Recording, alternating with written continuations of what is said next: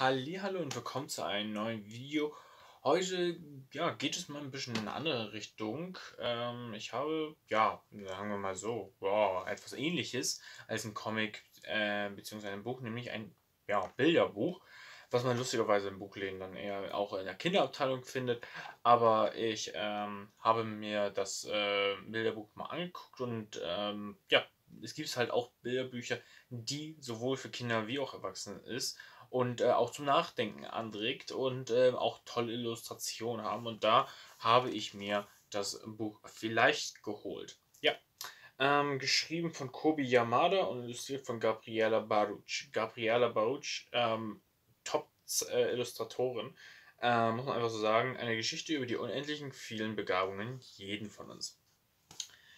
Diese Geschichte möchte dir zeigen, wie viele Begabungen dir schlummern. Lerne dich kennen, träume und lasse dich von dir und dem Leben überraschen. Vielleicht, ja, vielleicht, du deine kühnsten Träume übertreffen. Und ich finde das Cover einfach schon mal so richtig schön irgendwie.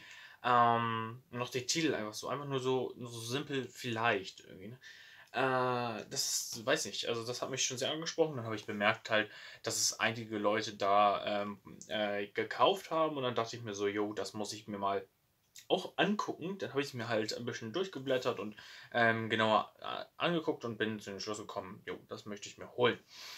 Und ja, dieses Buch äh, hat halt keine strikte Story oder so. Es hat halt ja einzelne Illustrationen, ähm, wo dann einzeln immer was dazu steht. Zum Beispiel hast du dich jemals gefragt, warum du hier bist? Und, und setzt halt einfach so welche äh, Denkanstöße und ähm, ja, sagen wir mal so, könnte für den einen oder anderen Hoffnung bringend, äh, Hoffnung sein, sagen wir mal so. Äh, weil das Buch fühlt sich äh, sehr so an, als wäre es gerichtet an, an Menschen, die nicht gerade unbedingt äh, jederzeit glücklich in ihr Leben sind oder waren. Und ähm, vielleicht ist ja auch der Autor nicht, kennt sich selber mit so welchen Sachen aus oder möchte zumindest etwas dabei tragen. Und äh, ja, also ich finde, man, man kann es sich auch so holen. Also es ist toll illustriert mit tollen Zeichnungen. Ich jetzt, wenn wir das in der Comic-Bereich jetzt vergleichen, na gut, da habe ich jetzt mit David Marquis oder Jim Lee mehr Spaß. Aber äh, wenn man das auch noch so, weil äh, ich, ich bin, bin halt manchmal in Kinderbuchabteilungen äh, tätig und und sehe dann, wie viele Sachen es gibt, wo man ganz klar sagen kann, ja, hier komm, das ist was für Kinder. Gut, es gibt viele Erwachsene, die dann auch diesen kindlichen Humor mögen. Das ist auch schön, haben, solange sie Spaß daran haben, ist ja auch gut, aber ich bin da halt jetzt nicht so zu begeistern für.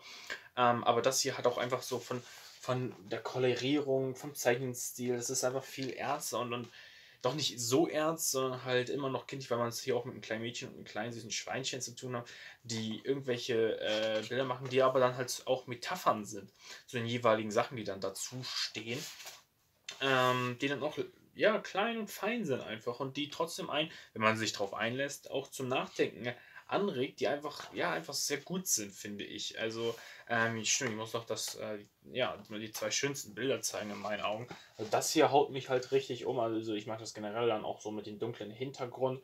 Und dieser Eisbär sieht richtig gut aus und auch die Eule, das, das gefällt mir richtig gut. Äh, dann, dann auch noch äh, hier das nächste, das ist, finde ich, noch besser. Äh, hier mit den ganzen Eisbären. Das ist richtig toll und, und, schön gezeichnet. So ein riesen Eisbären, der da halt mit, ja, mit dem kleinen Mädchen knuddelt praktisch. Finde ich richtig schön. Hierbei steht, vielleicht wirst du für jene deine Stimme erheben, die nicht für sich selbst sprechen können. Könnte man zum Beispiel, keine Ahnung, Umweltschutz, Tierschutz mit interpretieren, könnte man, muss nicht. Ähm, oder, oder auch einfach gegen für andere Menschen äh, die man helfen kann oder Lebewesen generell. Und einfach, weiß nicht, so schöne Sachen. Und es könnte halt wirklich sein, äh, das habe ich auch schon bei ein paar mitbekommen, dass ähm, ja, die Leute, äh, die, denen, denen es etwas schlechter geht, die vielleicht sogar an Depressionen leiden, könnte so ein Buch doch vielleicht sogar ganz schön sein. Weil, ja, schöne Illustrationen, wie schon gesagt, aber auch hoffnungsvolle Sprüche, irgendwie so, die, die vielleicht auch Mut bringen können, wäre möglich, ähm, und einfach Spaß machen ähm, und dann auch ein bisschen aufzeigen, dass das, äh, dass, ja, das Leben von jemandem Einzelnen äh, immer was wert ist und äh, alles möglich ist, wenn man äh, ja, nur den Willen dafür zeigt. Ja, ich möchte jetzt nicht hier jedes einzelne vorlesen oder so, um das halt schon wegzunehmen oder jedes einzelne Bild zeigen. Ähm, wollte einfach das nur mal aufzeigen, weil ehrlich gesagt, ich glaube, wäre wär ich nicht äh, äh, bei meiner Arbeitsstelle da, wäre ich nie auf so ein, so ein Buch gekommen, irgendwie so. Das habe ich jetzt halt nur ähm, äh, bei meiner Arbeit halt entdeckt und bemerkt, dass es halt sehr gut ist. Ähm, sonst hätte ich das wahrscheinlich nie mitbekommen, dass es sowas gibt und hoffe, dass Kobi Yamada bzw. auch Gabriel Baruch noch mehr herausbringen in dieser Art. Äh, Kobi Yamada hat noch andere Sachen, ähm, aber Gabriela Baruch ist das erste, äh, der erste Band, was sie koloriert richtig, äh, bzw. illustriert. Äh, und ja, bin gespannt, ob da noch mehr in diesem Bereich äh, rauskommt. Ich werde meine Augen offen halten und wenn dann was Neues, Tolles rauskommt, das genauso vorstellen. Ähm, ja, und ja, wenn dann habt ihr jetzt Lust bekommen und habt auch Interesse, ist halt immer so, wie, wie ein das halt ein bisschen was wert ist. Ne? Es ist halt nicht so viel, es ist relativ dünn, ähm, hat aber, wie schon gesagt, Top-Illustration und äh, Top-Sprüche drin. Und, und ja, sieht halt auch so, wenn man sich das so hinstellen wollen würde, auch sehr nett aus. Ist halt auch so eine etwas größeren, hochwertigeren ja, Gestaltung, sagen wir mal so, als andere Sachen. Äh, und bin mal gespannt, ob das, ja, schreibt mir das mal in die Kommentare, wenn ihr das euch schon geholt habt, also das vielleicht schon kennen solltet oder äh, wenn ihr das euch holen würdet und ähm, wenn ihr das gelesen habt, was ihr denn davon haltet. Fandet, findet ihr das äh, genauso gut oder denkt ihr euch jetzt hier so, Digga, was, was stellt ihr uns da jetzt vor? Das ist so ein Kinderscheiß. Ähm, das holen sich ja nur äh, ganz depressive Leute. Äh, ja, bin ich mal gespannt. Bis jetzt habe ich eigentlich immer nur Gutes gehört und äh, vielleicht ja, gibt das ja mal so, so einen kleinen Denkanstoß. Ähm, und wenn nicht, dann nicht. Kann ich auch nicht, äh, kann ich auch nicht verübeln, wenn man da jetzt keine große Interesse hat. Ähm, da, weil, ja, wie schon gesagt, es ist halt ein nettes Nebending. Es gibt ja auch viele Sachen, in, in denen man sein Geld auch besser investieren kann. Es ist aber auch wesentlich schlechter. Ja, das soweit mit diesem Buch. Äh, ich hoffe, ja, es war interessant und äh, ja, wünsche euch dann aber noch einen schönen Tag dann soweit.